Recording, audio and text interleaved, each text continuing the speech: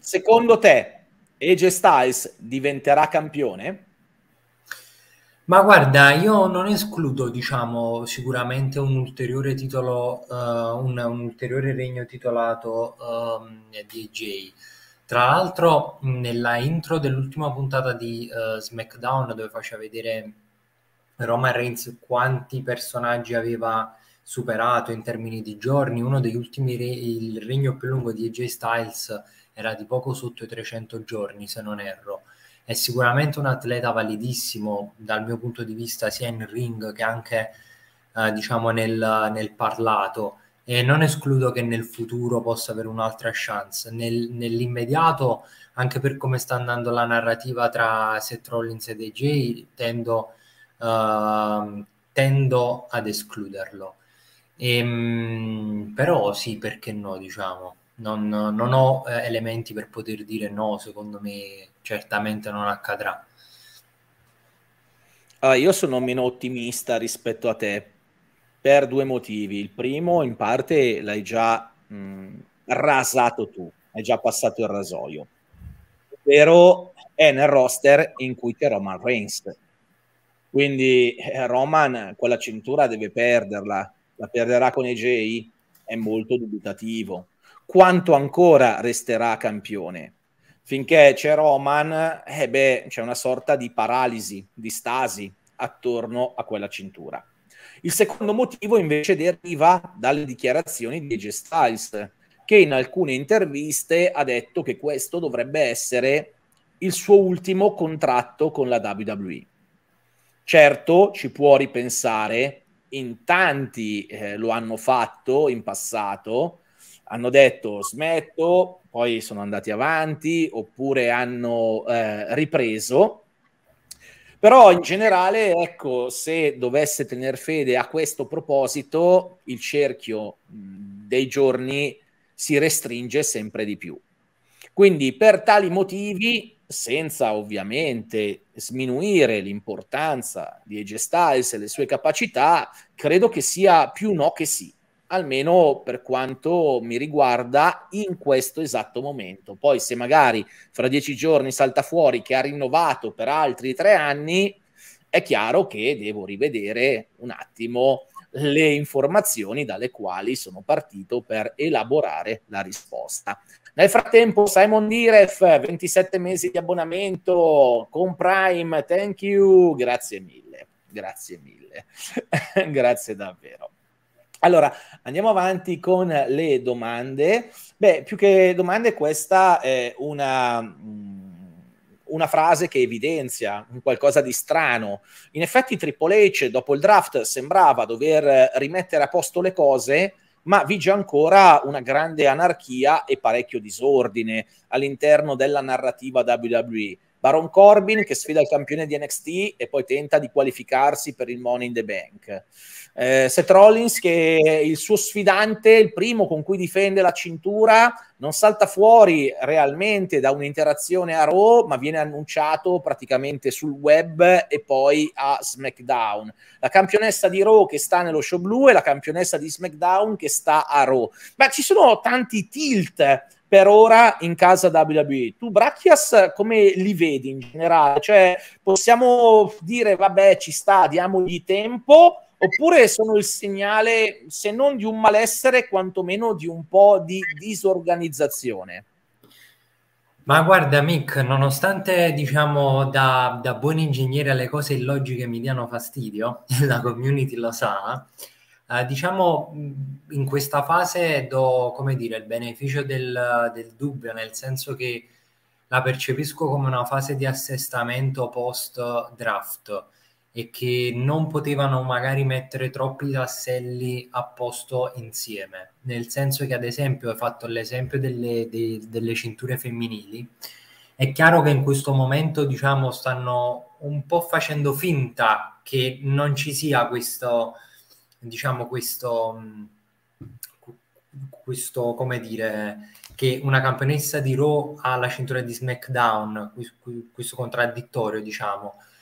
Questo ad esempio perché secondo me tra non molto vedremo un restyling anche di quelle cinture, come già c'è stato per diverse cinture uh, WWE.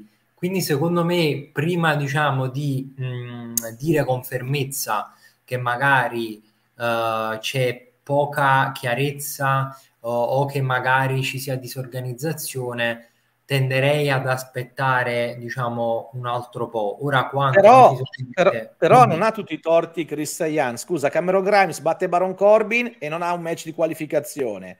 Invece Corbin sì e addirittura c'ha una shot teorica, ce l'avrà a NXT. E le Knight perde da mesi, improvvisamente può qualificare. Cioè, c'è qualcosa che non va in questa narrativa di Triple H o dobbiamo continuamente fingere che perché Triple H non c'è più Vince McMahon no. allora è tutto così più bello sì sì sì sì diciamo io la, quella, la, la, il ragionamento che ti facevo prima era più da un punto di vista come ti voglio dire, organizzativo. Poi chiaramente dal punto di vista narrativo ci sono dei cortocircuiti logici, ad esempio anche il match di qualificazione femminile, ad esempio Michin contro Bailey, perché Michin dovrebbe essere all'interno del match di qualificazione? Cosa ha fatto? È chiaro Evans, che... che... non la vedevamo da mesi. Oh, ad, esempio, ad esempio, quindi è chiaro che ci sono dei, dei, dei corticircuiti. Questi, diciamoci la verità, alla fine questi ci sono anche in epoca Vince, diciamo, ci sono stati. Poi probabilmente adesso sono un po' più, diciamo, visibili. Però ecco, diciamo, alla fine quando in, que- in questi casi qui vedo questi match di qualificazione dove fondamentalmente bene o male già sappiamo, annusiamo chi andrà a fare il Money in the Bank match, alla fine l'occhio glielo chiudo. Sebbene è pur vero quello che dici tu, teoricamente i match di qualificazione, sono d'accordissimo con te, i match di qualificazione dovrebbero essere match tra top lottatori perché potenzialmente tu gli stai dando la possibilità di guadagnarsi una shot titolata che in realtà è una shot titolata avvantaggiata perché sappiamo che quando si va a incassare potenzialmente puoi vincere il titolo in pochi secondi. Su questo sono d'accordo però poi alla fine dobbiamo vedere la realtà dei fatti insomma Beh, insomma, ha buttato dentro in qualificazione Montesfort, che non è un atleta singolo. Poi chi è che ci aveva messo? Shinsuke Nakamura con The Miz? Aiutatemi con la memoria. No, cioè... Ah, sì. Ma anche ad esempio c'è l'incontro di qualificazione Butch contro appunto Baron Corbin. Cioè, per esempio, in questo match di qualificazione vedi un Baron Corbin che in questo momento ha un piede in due scarpe. Tra l'altro, credo che nelle puntate scorse, se non erro, abbia fatto la prima vittoria dopo non so quante sconfitte. Butch praticamente in, in singolo si può dire che quasi non abbia mai lottato o comunque diciamo non è che chissà quale rappresentanza abbia. E, però che dobbiamo fare? non so, allora innanzitutto ringrazio Dimpo 4 o Dimpo 4, eh, thank you, grazie mille, grazie davvero per eh, l'aver rinnovato l'abbonamento per il sesto mese. E anche Parrucco dagli aziendalisti, 26 mesi di abbonamento, grazie davvero. Grazie, grazie Parrucco. Grazie mille. Potremmo superare la prima stazione, mancano 4 minuti e il 7%, se avete un abbonamento o qualche bits che vi avanza. Detto questo, no, secondo me dovremmo essere intransigenti e desiderare un prodotto migliore. Eh, perché se no abbiamo sempre una scusante, una giustificazione, allora tanto valeva tenerci la dirigenza di prima. Secondo me questa costruzione eh, dal punto di vista delle qualificazioni del Money in the Bank è assolutamente deficitaria, probabilmente la peggiore che io ricordi negli ultimi anni. Tant'è che eh, appoggio sicuramente l'opinione eh, di chi sta scrivendo che per ora è un money in the bank che manca di appeal perché ci sono tanti atleti secondari o parzialmente ai margini e mh, per qualificarsi per un oggetto che ti spiana la strada o potenzialmente può farlo per una cintura, praticamente i super top non stanno scendendo in campo, come se valga poco, come se debbano esserci Leslie Evans che non vediamo da mesi, Michin in campo femminile o altri in campo maschile che sono molto molto lontani dal poter essere un pericolo per Roman Reigns o per Seth Rollins.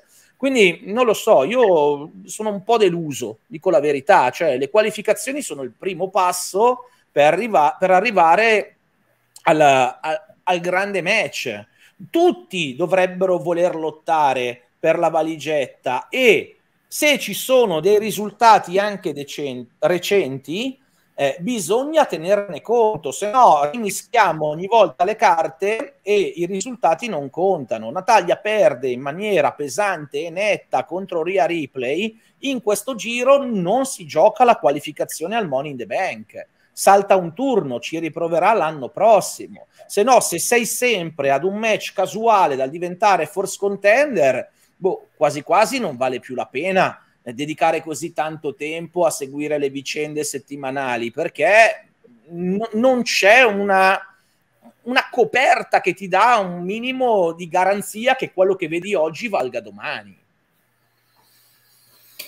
Sì, Mick, sono perfettamente d'accordo. Io spesso ho detto che mh, non solo per i miei gusti, ma anche per, uh, per, il simbolo che rappresenta, credo che Money in the Bank sia subito dietro uh, la Royal Rumble e, Summers, e SummerSlam, perché così come magari la Royal Rumble in passato l'Elimination Chamber ti dava una possibilità, qui come, ti, come dicevi anche tu, dava una possibilità molto più avvantaggiata. E sì, la ragione vuole che ci dovrebbero essere tutti appunto atleti, atleti top.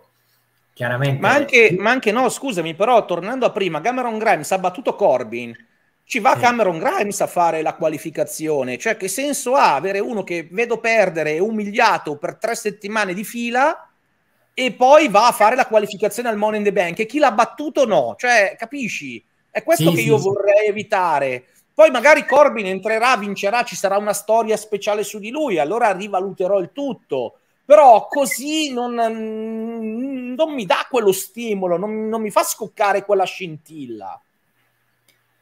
Lo so, Mick. Diciamo io credo un poco a questa, un po' a questa cosa che ha scritto il dottore, la condivido in parte, così come c'era un altro utente precedentemente che scriveva ho l'impressione che Triple H voglia fare un po' contenti tutti.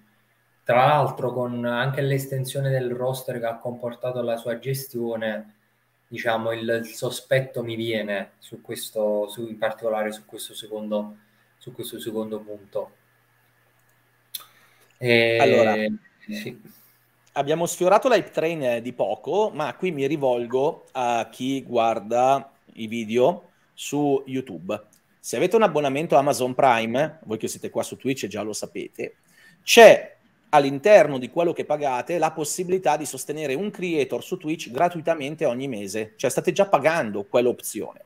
Quindi nel caso associate il vostro abbonamento Amazon Prime a Twitch perché sono della stessa azienda, si fa in due clic e poi legatelo a questo profilo. A voi non costa niente, state praticamente rinunciando ad un vantaggio che avete e ogni associazione a questo canale ci permette di guadagnare tipo un dollaro e 40, una cosa così, per potenziare la nostra strumentazione e per farci venire sempre più voglia di regalarvi queste dirette. Quindi mi raccomando, se avete Amazon Prime, l'associazione è rapidissima, sono proprio due clic.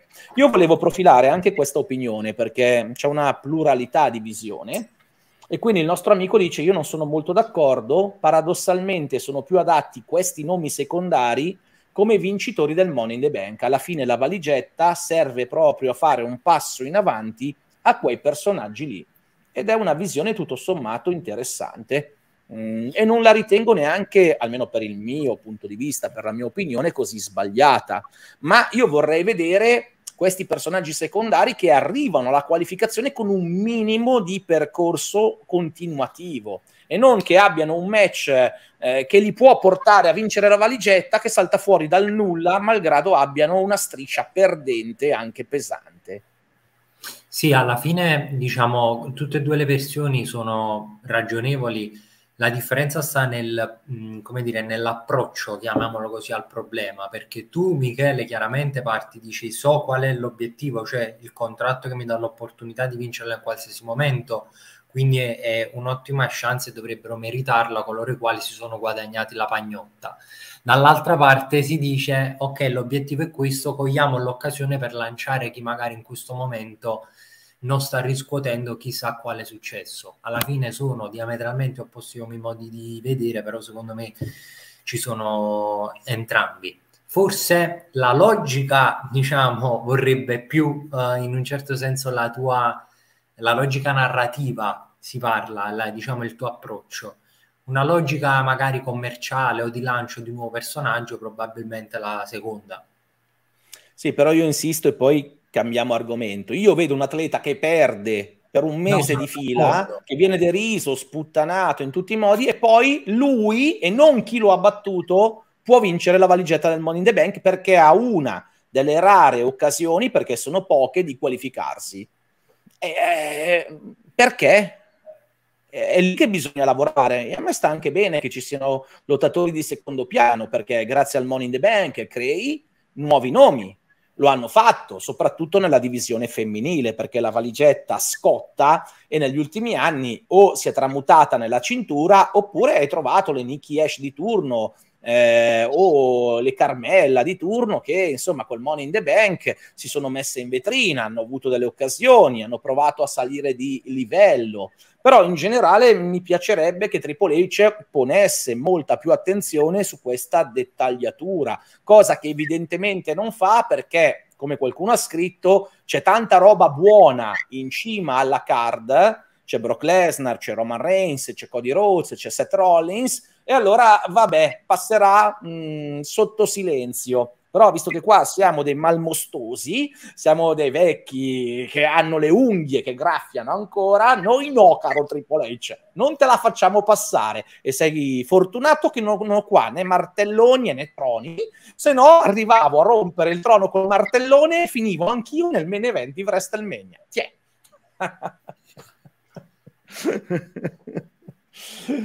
vabbè, vabbè. Allora, vediamo qualche altra domanda, ce ne sono tante sul titolo di Roman Reigns. Allora, facciamo un botta e risposta rapido. Eh, qual è il titolo più bello? Perché il resto della domanda non è molto chiaro. Eh, eh, qual è il più bello? Cioè, è questa di Roman Reigns, che ormai sostituisce le altre due, suppongo, o è la cintura di Seth Rollins, il titolo di campione del mondo dei pesi massimi? Ma guarda, Michele, credo da un'interpretazione che la seconda domanda intendesse dire come sarebbe meglio definirli, cioè qual è il modo mi- più bello per definirli. Cioè tipo il titolo World Heavyweight Champion o WWE Universal Championship o Universal Championship, una roba del genere, credo che volesse dire. Comunque, Beh, Ma, però una dicitura è in italiano, altre due sono in, in inglese, cioè io non, non, non la cifro. Andiamo a vedere qual è il più bello, dai, facciamo un testa a testa. Guarda, io, io, ho sicuramente bisogno di vederle più di una volta perché ero un po' scettico su quello di Set, però poi mi sta piacendo. Questo qui, quando l'hanno, quando l'hanno svelato, mi è sembrato, cioè que- questa contrapposizione nero oro che secondo me va sempre gestita particolarmente eh, in modo attento altrimenti esce una cafonata. Eh, però mi sembra un titolo abbastanza pomposo soprattutto alla cinta di, di Rollins. Eh, so, scusami di Roman. Um, va detto che è un accostamento di colori che a me piace molto quindi boh ti dico questa qui di, di, Rome, di Roman mi, mi piace di più Ah, sono due filosofie diverse. Questa di Roman, come hai detto tu, è molto scenografica, però ricorda sempre quel look un po' giocattoloso sì. delle due corone che va a sostituire, o almeno così sembra. Eh. Mettiamo sempre un asterisco. L'altra corona, quella di Rollins, se avete seguito un video che ho pubblicato su YouTube, sul canale Wrestling News e Rumors, ha una storia, cioè la cintura racconta delle cose. Ci sono tre leoni che sono il simbolo della famiglia McMahon, c'è un'aquila che ricorda una storica cintura della WWE, c'è una corona che ricorda il campione più longevo della federazione, Bruno San Martino, ci sono 60 diamanti a significare i 60 anni di vita della WWE quando la cintura è stata forgiata e introdotta. Quindi tra le due preferisco la prima, non facendo un distinguo, cioè quest'ultima che ho citato, quella di Seth Rollins, sul pregio, sul valore o sull'estetica, ma semplicemente su questi abbellimenti, su questi significati aggiuntivi che in quella corona lì riesco a ravvisare, mentre quella di Roman è fighissima, però non ha inserita al suo interno, magari c'è, non ce l'hanno ancora spiegata, eh, tutta questa epopea storica che invece quell'altra può vantare. Allora, mm, così abbiamo risposto anche ad Ale Berre che ci chiedeva cosa ne pensavamo di questo nuovo titolo eh, di Roman Reigns.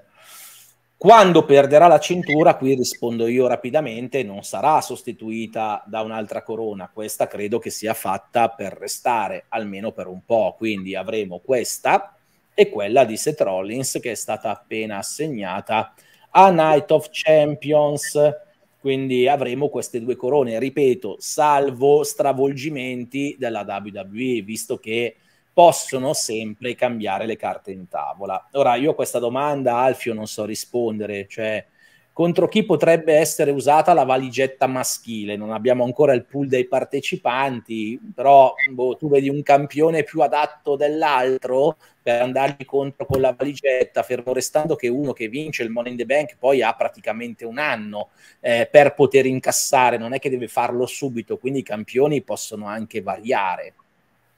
Ma guarda, cre- come tu hai detto, credo sia al momento, in questo momento storico e narrativo, una domanda da un milione di dollari, perché da una parte c'hai Roman che è mischiato con questa questione familiare, molto, una situazione molto problematica e fresca, che insomma si è concretizzata nel main event, nel pay per view, nell'ultimo pay per view e nell'ultima puntata di SmackDown.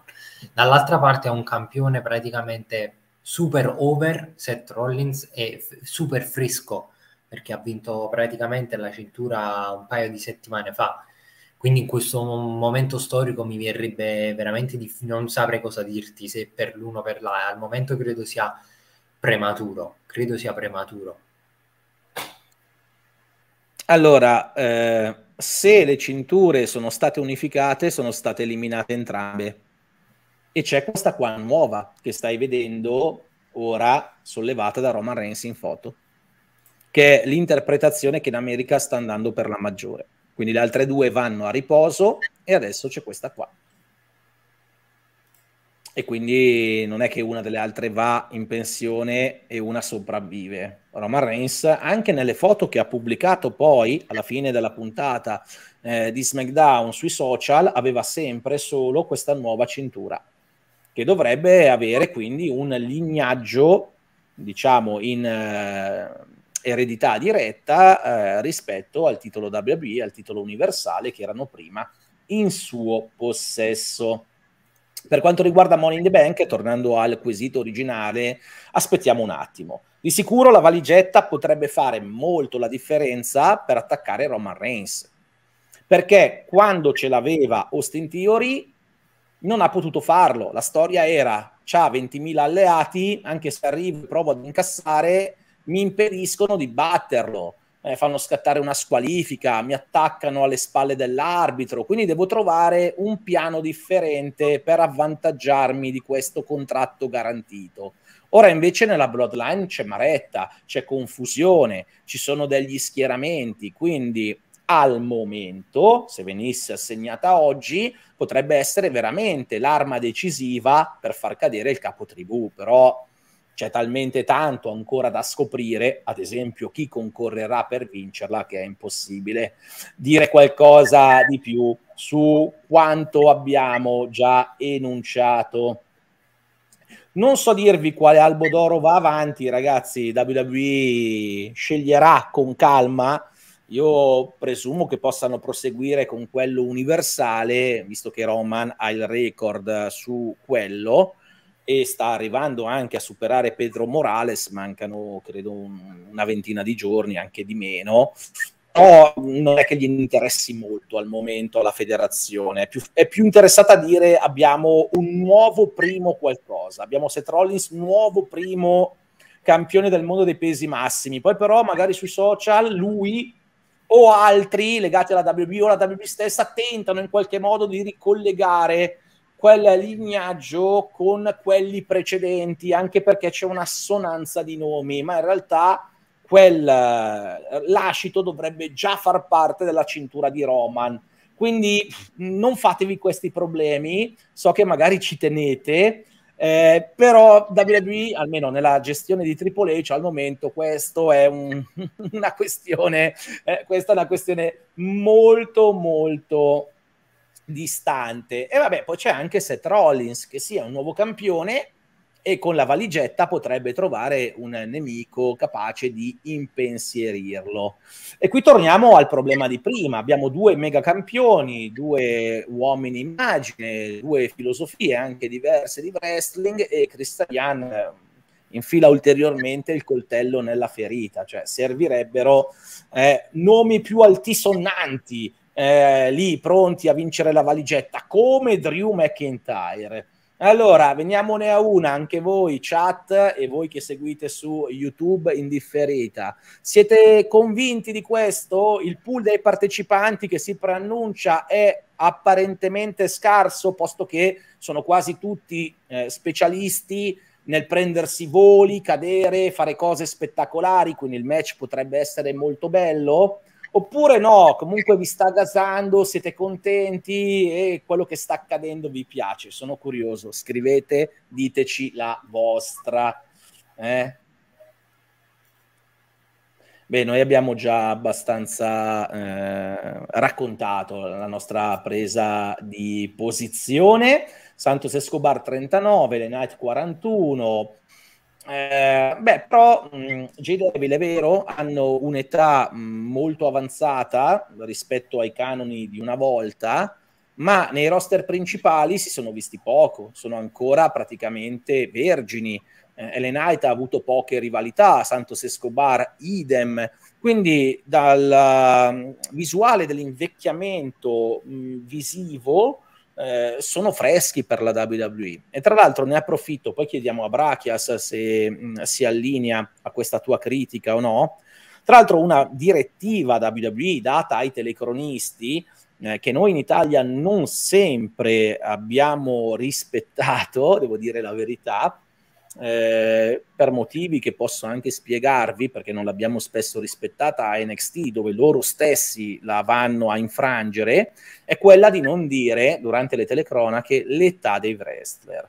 Quindi una cosa che WB non vuole, ma questa è abbastanza recente, è che mentre tu telecronachi non devi dire eh, Santos Escobar ha 40 anni. Santos Escobar ha un'età indefinita, però ha un look giovanile, quindi è giovane ed è il messaggio che vogliono dare al pubblico. Quando indicano l'età, lo fanno con Austin Theory o con le ragazze di NXT che dicono ah questa è campionessa e ha solo 21 anni. Ma se ci fate caso, quando si sale lì o si passa agli Hall of Famer, quindi Re Mysterio Hall of Famer, ma non si dice l'età, oppure si fa assolutamente silenzio. Così vi ho svelato anche un piccolo dietro le quinte. Ma ora, Bracchias, andiamo a questo questo messaggio, tu come la vedi? Ma guarda, io vado alla ciccia, nel senso che non mi pongo troppo, troppi problemi sull'età uh, degli atleti.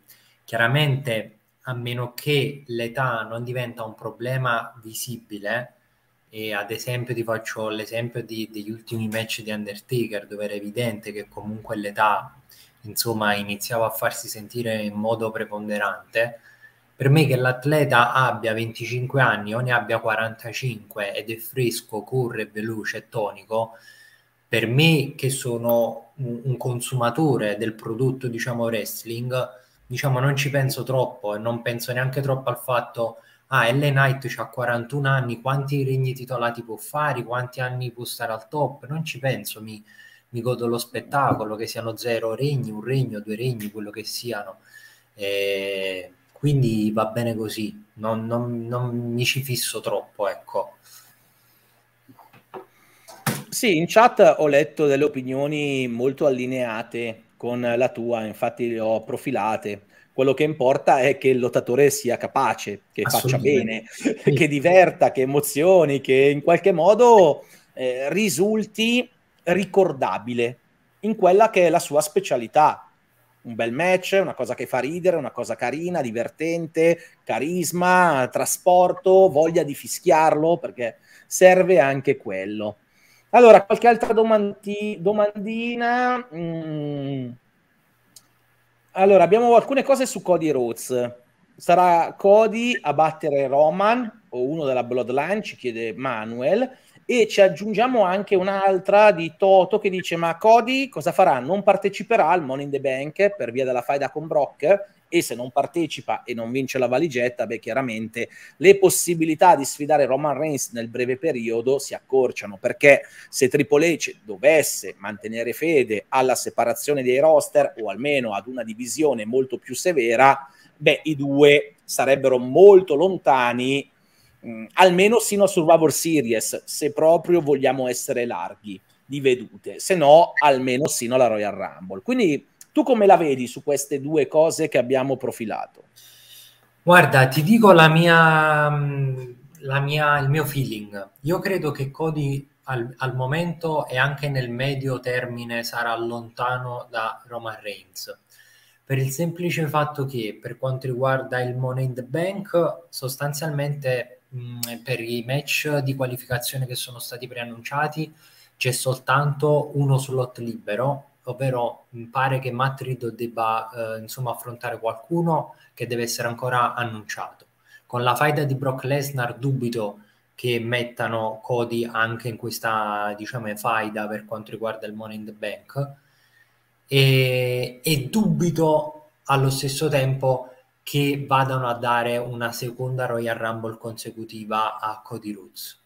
Quindi diciamo le chance dal mio punto di vista al momento per vedere eventualmente un Cody Rhodes contro Roman in, anche in un'ipotetica WrestleMania sono molto basse. Chiaramente stiamo speculando a lunghissimo termine, possono capitare un sacco di cose in questi 5-6 mesi uh, che devono ancora venire, però la mia impressione è sostanzialmente que- questa. Io credo che si, si, si, si è allontanato, si è allontanato diciamo da, da quella storia e ora inevitabilmente con la faida di Brock che pare che ci debba essere appunto l'atto finale con Brock mi sembra evidente che non possa partecipare a Money in the Bank anche perché qualora questo atto finale debba dovesse appunto accadere credo accada a Money in the Bank, presuppongo.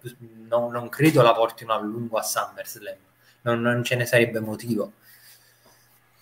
Allora, hai ragione, non ce ne sarebbe motivo. I rumors al momento dicono il contrario, ovvero che l'atto finale, cioè il terzo match, probabilmente lo fanno a SummerSlam, ma i rumors potrebbero sbagliarsi. Importante sarà capire cosa dice Cody Rhodes questa notte a Raw nella puntata americana, perché lui la sfida Brock Lesnar l'ha, l'ha già lanciata, però è stato annunciato che parlerà ancora, ancora al riguardo della rivalità col sindaco di Suplex City. Quindi o propone una stipulazione e lancia la data, che può essere Money in the Bank, quindi Europa, o SummerSlam, oppure Oltre a questo, o con una variante di questo, può anche dire: Ok, ti sfido a SummerSlam e intanto provo a entrare nel Money in the Bank perché mh, mm, tu non ti farai vivo prima di allora e quindi cerco di vincere anche la valigetta. E quindi nel caso sarebbe l'ennesimo eroismo di Cody che fa non solo due match, ma magari ci arriva in sedia a rotelle al Money in the Bank match praticamente. Esatto, guarisce in maniera miracolosa, tipo sgorga l'acqua magica eh, dalle pareti di casa sua, il, il braccio si riossifica e va a vincere la valigetta e poi combatte contro Brock Lesnar nel Premium Live Event su- successivo, forte anche della valigetta. Chissà se seguiranno questa strada, francamente sembrerebbe un po' troppo, ma con Cody Rhodes l'esagerazione del comparto creativo e quindi del booking è sempre dietro l'angolo. Non c'è nessuno della Bloodline nel Money in the Bank, o, o sbaglio? No, non c'è nessuno, Mick, perché come ti dicevo li sto guardando sull'altro monitor. Eh, praticamente mm. i match di qualificazione sono tutti già annunciati, ripeto, c'è solo un posto disponibile con, con Matt. Quindi al momento sembra così. Poi hanno sempre la carta che magari ne infortunano uno poco prima e c'è il rimpiazzo, quello c'è sempre dietro all'angolo, però al momento eh, non c'è. Sì, e ricordiamoci anche che un certo Austin Theory vinse il Money in the Bank senza essersi qualificato, oppure anche. ho un po' di confusione, no, non credo, cioè venne inserito così d'ufficio, perché sì? E lì tutti a dire, vabbè, allora vince lui, ma che fre- cioè, ci stanno a pigliare in giro. Sì. eh, però sarebbe stato bello, non trovi? Eh, Jimmy Uso, visto che è lui che guida la rivolta, Jimmy Uso che protesta e entra nel, nel Money in the Bank. Ovviamente non accade perché probabilmente si andrà verso una sfida eh, a fazioni, no? Sì, Jimmy e Jay contro Roman e solo Sikoa. Però sarebbe stato bello vedere Jimmy nel match, magari ostacolato da solo Sikoa, mandato da Roman Reigns. Certo, sarebbe stato un interludio alla sfida tra tech team, però su Jimmy in tanti magari ci avrebbero investito. Cioè, Jimmy poteva essere un candidato eh, del pubblico per dire vediamo che succede se gli mettono in mano la valigetta. Sarebbe stato un, uno scenario bello, anche se poi non l'avesse vinta, però da fantasticare molto più del, del fantasticare su Butch, Baron Corbin e, e, Shinsuke Nakamura, detto con tutto il rispetto. Eh. Sì, assolutamente, ma questi pay per view come appunto Money in the Bank o la Chamber o la, o il, la, la, Royal Rumble in questo contesto della storia di Roman si presterebbero molto bene a degli archi narrativi veramente rilevanti. Mm.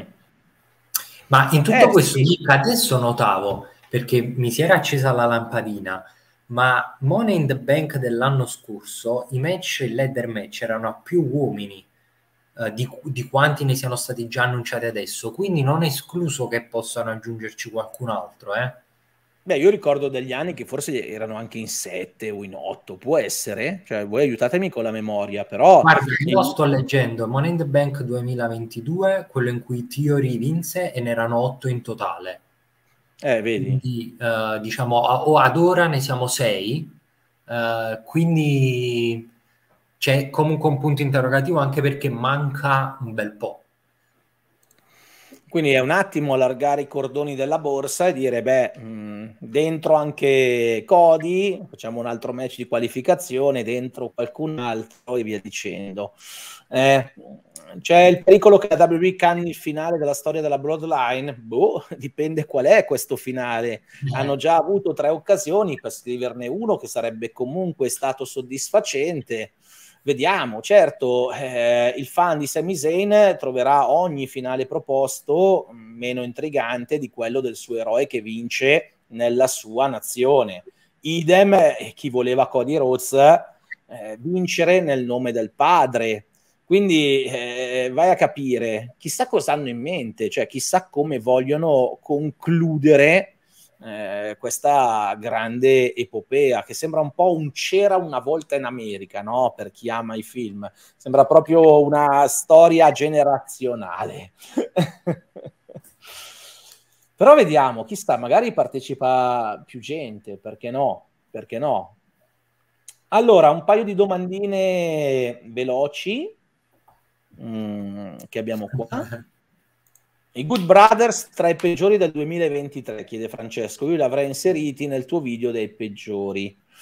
Perché tu avevi grandi aspettative, io invece le avevo proprio basse, basse, basse. Probabilmente non li ho messi lì dentro proprio perché partivano raso terra nel mio ranking mentale. Non che siano scarsi, è sempre una grandissima squadra, eh eh, però non hanno quasi più niente da dire in WWE, hanno perso con tutti i top, eh, fanno giusto da spalla dei G-Styles, sembrano lì come garanzia perché nei live event comunque loro lo sanno fare, sono coinvolgenti, hanno delle buone mosse, lavorano in maniera safe, quindi sicura, tranquilla, però io in generale non, non, non, mi aspettavo tanto da loro e lo sì, ne parlavamo con Parrucco di recente, cioè lo sì a meno che G non diventi malvagio o a meno che G non entri in rivalità con un gruppo come la Hit Row che ha sia uomini che donne, beh lo sì al momento non serve ad un granché.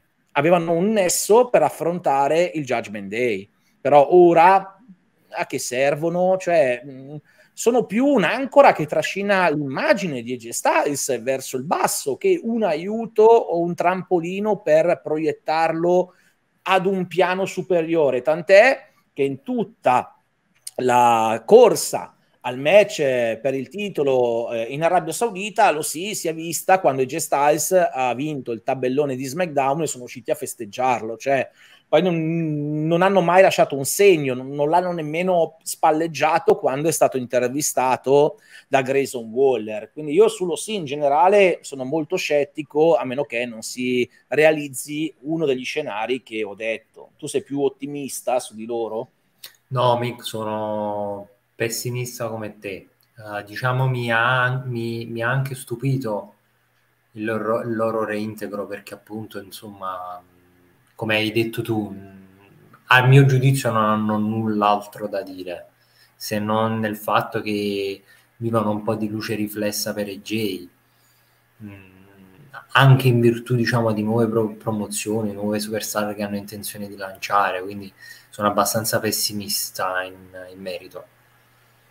Eh, sono quelle squadre che vanno bene, che vanno bene proprio per, per, i live event, perché lì possono esaltarsi, possono lottare senza dover stare sui tempi televisivi, possono mostrare il loro repertorio, però ormai sono in una scala gerarchica mm, molto bassa. Colpa anche, questo sì, eh, del fatto che non c'erano per un bel po', e poi del fatto che arrivare ad avere l'accessibilità ad un match titolato in quella divisione negli ultimi anni è stato comunque complicato. E restando nei tech team, cosa ne pensi dei Creed Brothers? In singolo e anche in coppia, visto che qua si parla di Julius anche come, come atleta singolo. Ma guarda, Mica, alla fine diciamo i Creed Brothers li davano anche come potenziali promossi uh, nel, nel draft io credo, mm. che, sia un, un, io credo che sia un tag team uh, valido.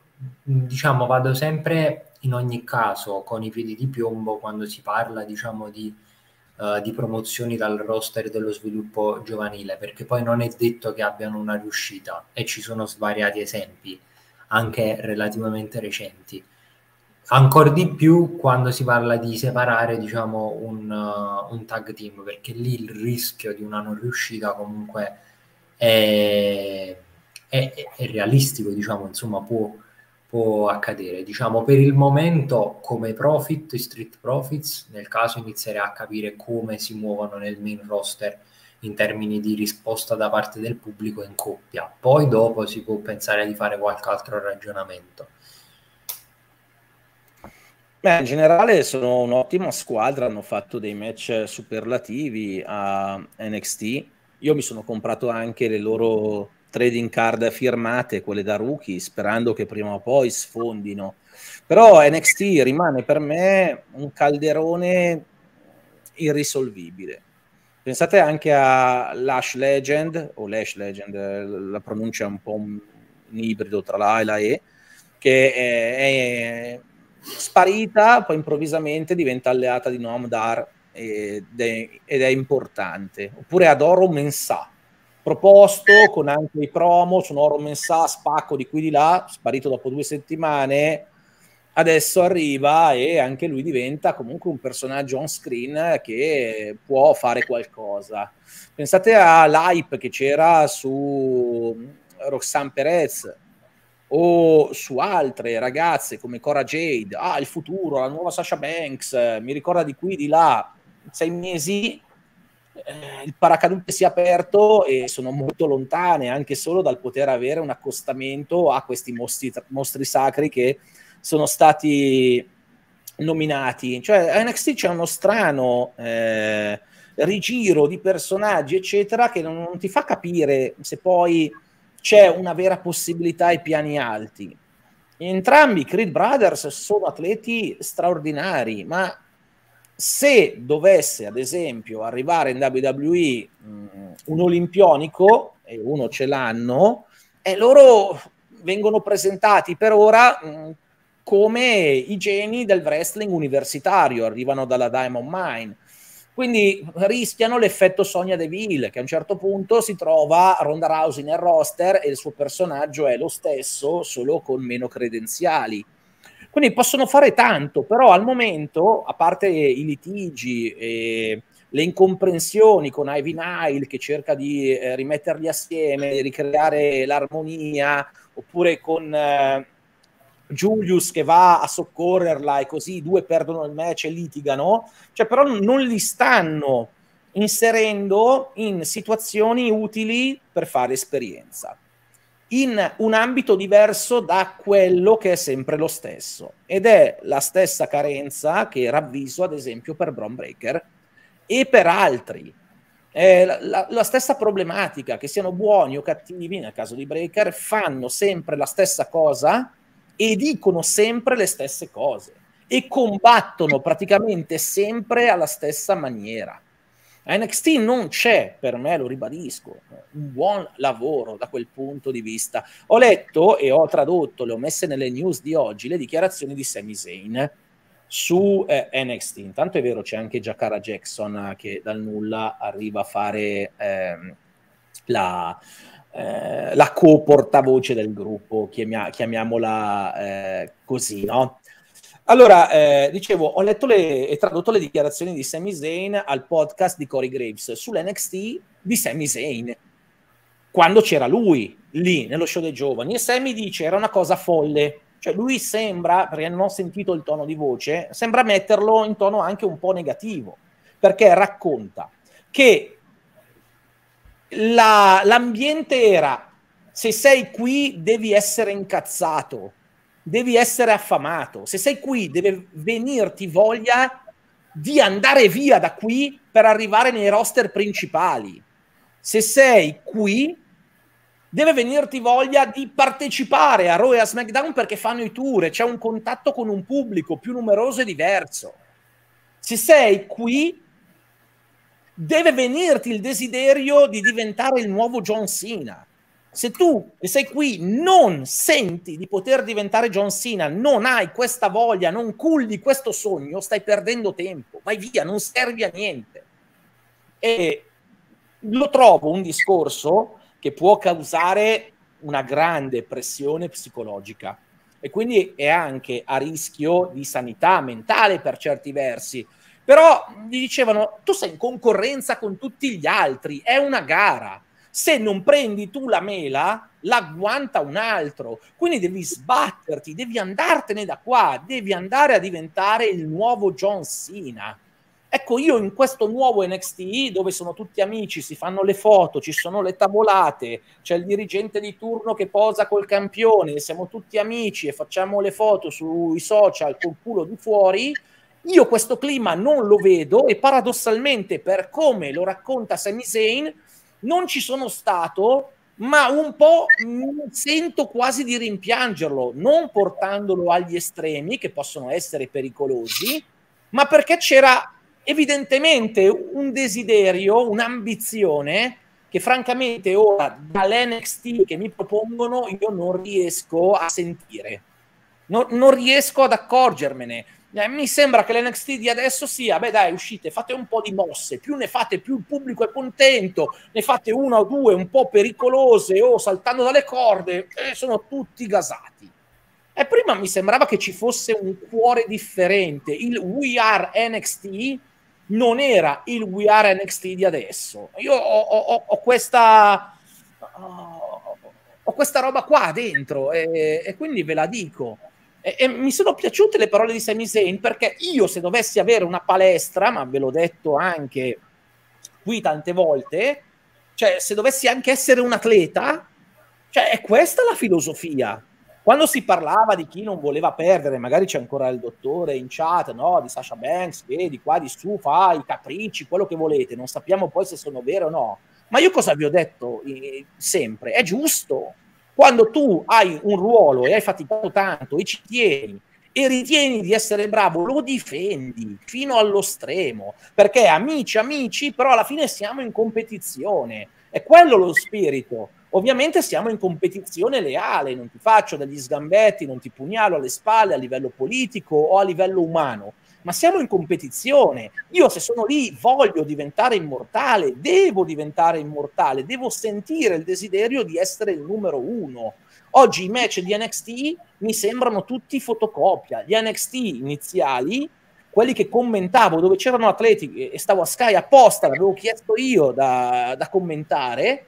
Eh, invece, malgrado ci fossero atleti molto meno bravi, c'era Emma che inciampava entrando nel quadrato e poi ne hanno fatto eh, praticamente un personaggio, comunque vedevi quella voglia di superare i propri limiti, di fare qualcosa di nuovo, di cercare una strada diversa da quella degli altri. Adesso la strada di tutti, salvo rarissime ecce- eccezioni, è identica, è uguale, fanno tutti la stessa cosa.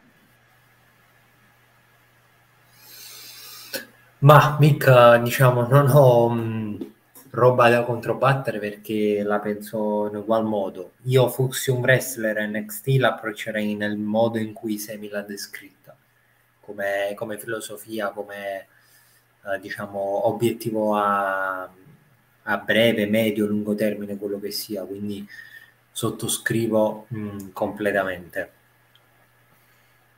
E poi eh, per questo motivo non riesco a fare un'analisi reale sulla quasi totalità degli atleti che sono lì, perché se andiamo a vedere soltanto le capacità tecnico-atletiche che hanno mostrato, i Creed Brothers dovrebbero essere clamorosi. Però a Royal SmackDown questo serve sino a un certo punto. Il New Day è diventato stracampione suonando il trombone, entrando ballando, inventandosi il cereale culone eh, gli Usos sono diventati importanti per le varie storie che hanno avuto, ma sono sempre stati visti come degli outsider che però grazie alla storia bella, sapendo anche parlare e grazie a delle casualità eh, e a delle necessità, ora vengono percepiti anche come degli ottimi wrestler singoli, no?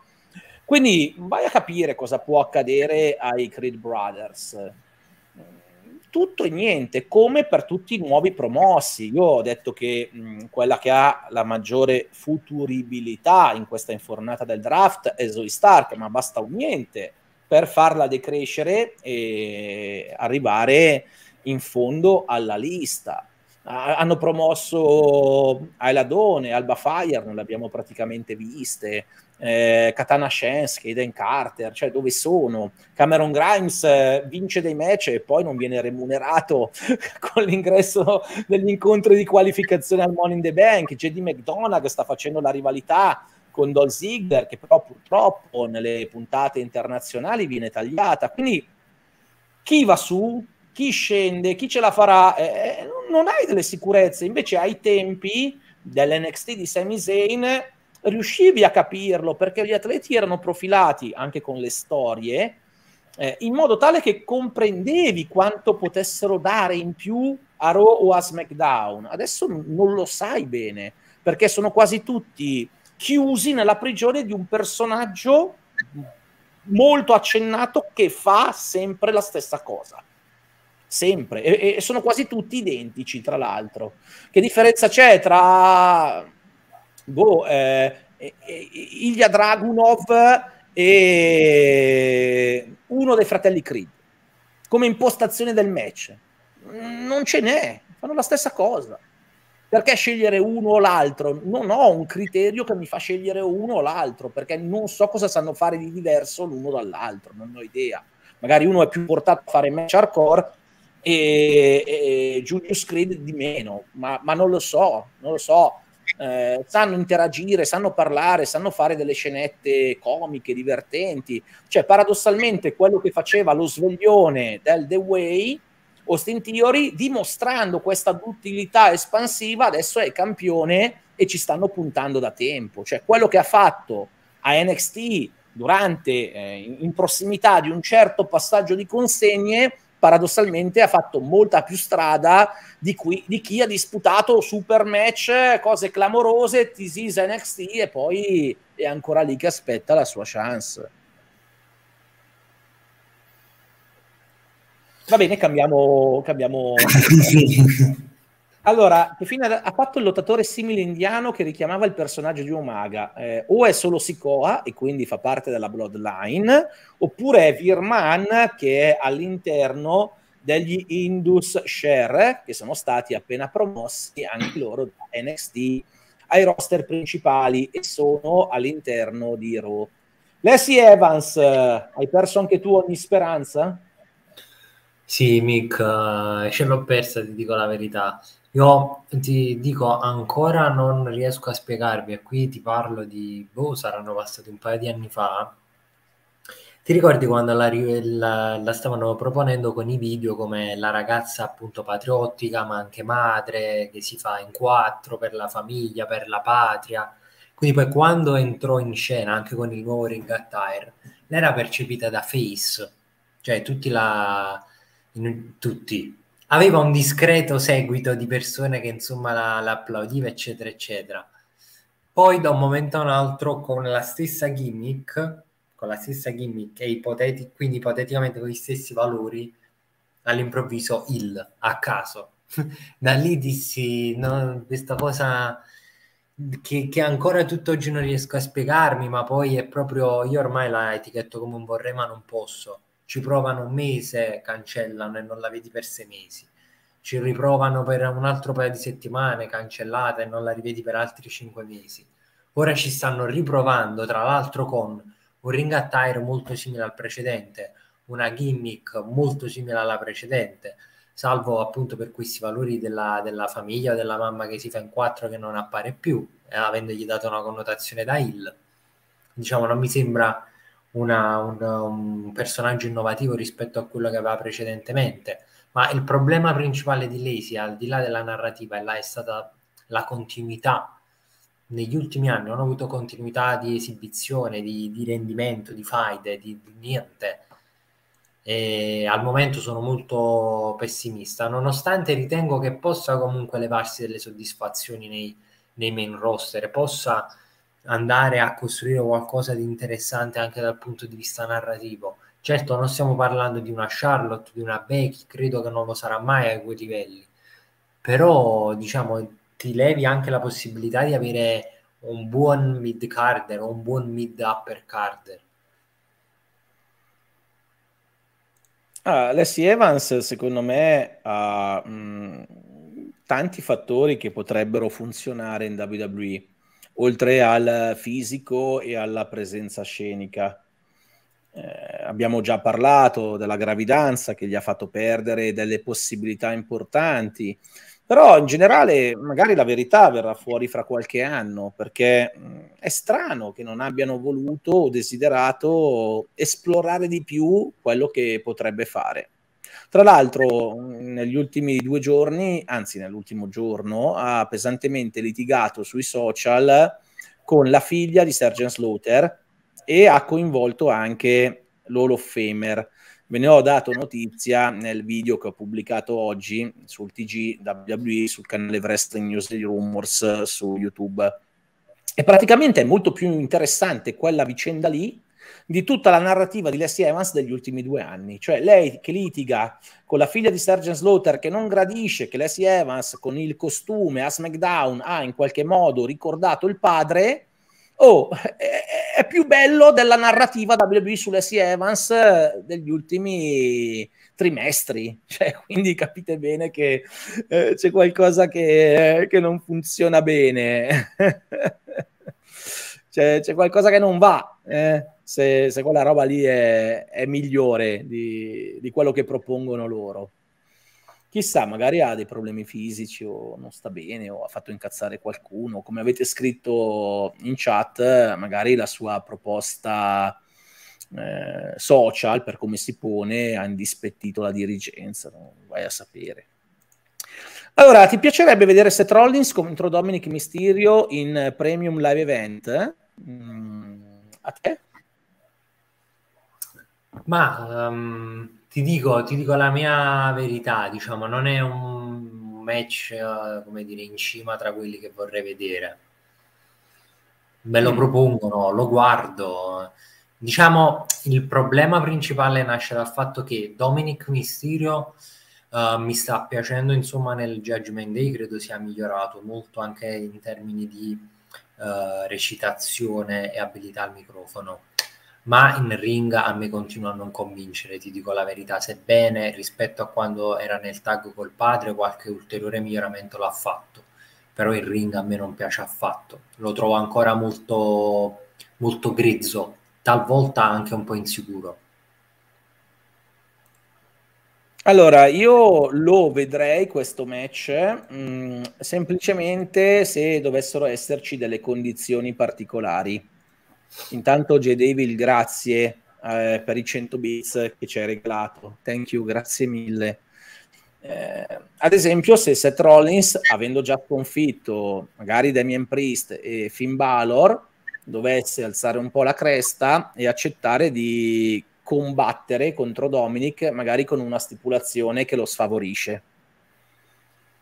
E questo potrebbe dare un po' di pepe alla battaglia, perché Dominic in questo momento lo stanno usando per contrapporlo ad atleti che hanno bisogno di essere tifati. L'hanno messo in rivalità anche breve con lottatori che volevano insomma testare col pubblico quindi con Seth Rollins non hai questa necessità. E allora se vuoi creare un match competitivo, perché Dominic per adesso viene proposto come uno che non lo è e che deve nascondersi dietro la gonna e i muscoli di Ria Ripley, allora in questo caso devono trovare una stipulazione che sembri avvantaggiarlo. Quindi vedrei volentieri questo match, ma solo in questa, in quest'ottica, in questa filosofia, in questo istante, ovviamente. Mm. Allora, non trovi che il titolo intercontinentale sia una prigione dorata per Günther, che ovviamente non sarà o non dovrebbe essere nel Money in the Bank Leather Match? Ma um, allora, per quello che, per come è stato costruito Gunther e per quello che ha dimostrato, specialmente in ring, io credo che al momento non possa ricoprire una posizione migliore considerando anche la collocazione dei titoli massimi. Il problema è, e questo diciamo è una mia, come dire, è un timore, che si stia andando su una direzione sul titolo intercontinentale simile a quella di Roman, cioè nel creare un supercampione molto duraturo Chiaramente questa cosa, se da un punto di vista ha un qualcosa che magari può essere intrigante, affascinante, dall'altra parte la federazione uh, in un certo senso si mette anche un po' in difficoltà perché in un modo o nell'altro dovrai farlo perdere. Ed è noto che questo titolo intercontinentale non, per quanto Gunther lo abbia innalzato, non sia a livello dei titoli massimi, diciamo così. E questo secondo me diventerà un problema perché tolti super top sarà un problema questa cosa. Però sappiamo che la WWE trova o un usato sicuro o un nome già noto o una stipulazione particolare può ovviare a questo problema. Però me sembra evidente che stia andando a costruire un personaggio alla Roman Reigns Beh, eh, noi ne abbiamo già parlato, WB sta cercando di svecchiare alcuni record, quindi Günther viene proposto come il campione intercontinentale più longevo dell'epoca moderna. E vi dico la verità, mh, mm, io non sono tanto d'accordo no, con l'assioma, con il teorema della prigione dorata, cioè Günther è Günther perché è campione intercontinentale da così tanto tempo Chiaro, cioè Günther è diventato Günther perché è imbattibile, perché nel ring lotta bene, disputa bei match, batte i big della federazione come Sheamus e Drew McIntyre e quindi è tale, ha questa immagine proprio perché si associa ad una cintura rilanciata come pregio, prestigio e come desiderabilità. Quindi io non vedo in, in questo una prigione dorata. Mm, lo vedo come il modo per rendere Günther un perno possibile per il futuro. Un titolo detenuto due mesi e mezzo o tre o quattro, che è quello che bene o male vogliono i fan oggi, con successiva sconfitta contro il Kevin Owens di turno, mettiamo un nome alto, eh, amato dai tifosi, non gli avrebbe fatto per nulla bene, perché in quanti hanno avuto regni di questo tipo. Ma nel momento in cui sei il campione intercontinentale più longevo dell'epoca moderna, hai quei risultati che ti ho detto che fanno curriculum, vieni speso nel Royal Rumble match per come l'hanno scritto, ecco che diventi Günther, cioè ecco che diventi un top player. La cintura lì non è una prigione nella mia visione, è una necessità. Anzi, ben venga, perché la cintura viene ristabilita come un qualcosa che viene sì creata come appunto no, prestigio dal campione, ma anche come un oggetto che in futuro chi ce l'avrà addosso almeno per un po' vivrà in parte di questa luce riflessa.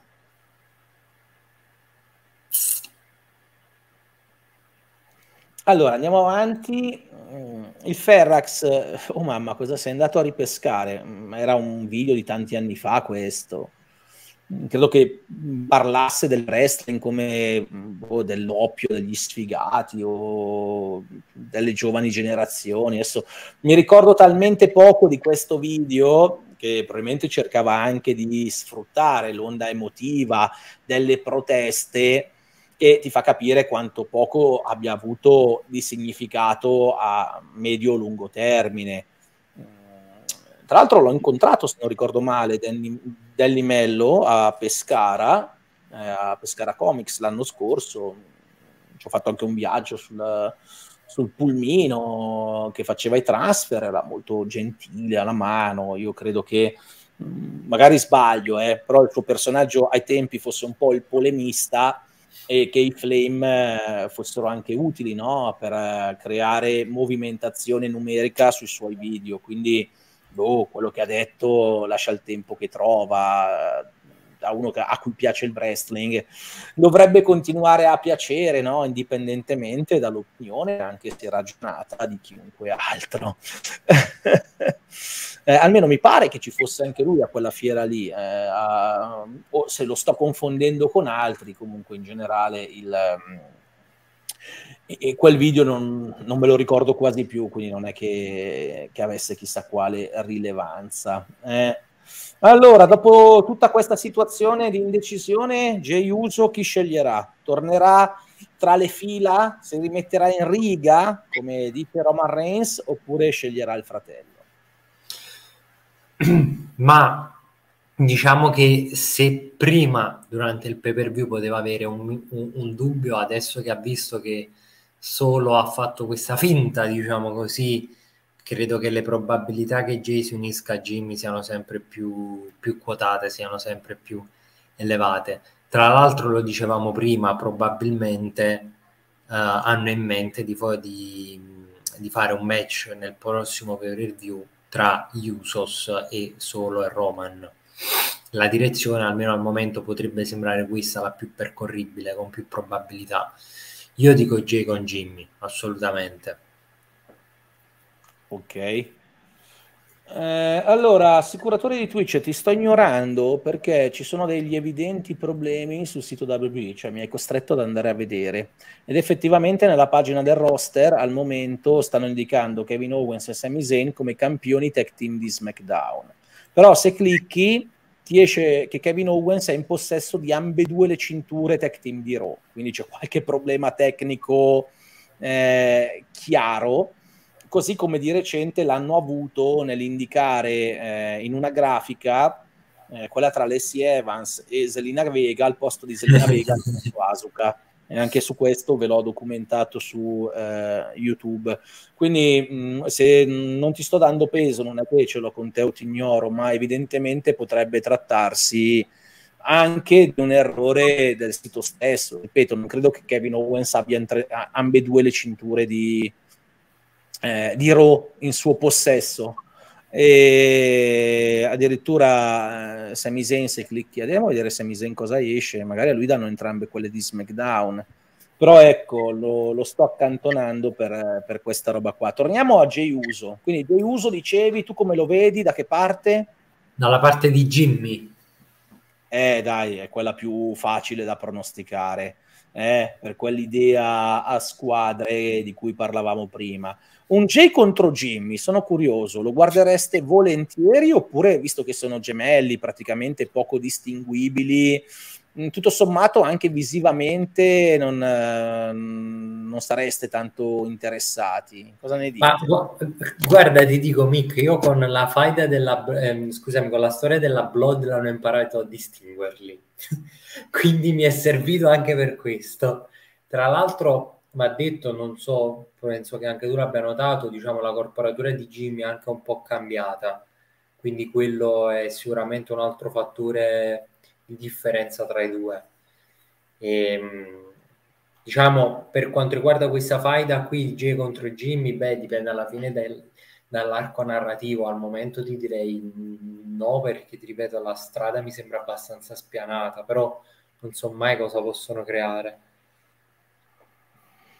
Ah, intanto sono andato a vedere eh, sul sito WWE Sami Zayn ha il titolo di SmackDown e il titolo di Raw Tech Team, mentre a Kevin Owens vengono attribuiti due titoli Tech Team di Raw insieme, contemporaneamente, quindi c'è qualche problema tecnico sicuramente sul sito WWE, per ora non prendetelo come il Vangelo. Eh.